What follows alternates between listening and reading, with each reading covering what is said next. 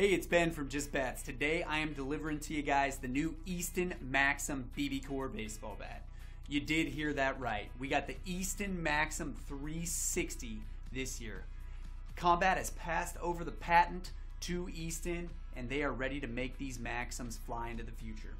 Same basic design, one piece all composite bat, and it features the massive barrel length that we all know to expect when we have a bat with the MAXUM name.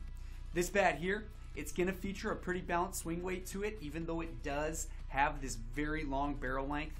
And if you guys did have interest in MAXUMs from combat in the past, come get this Easton bat. I think that you're going to be pretty happy.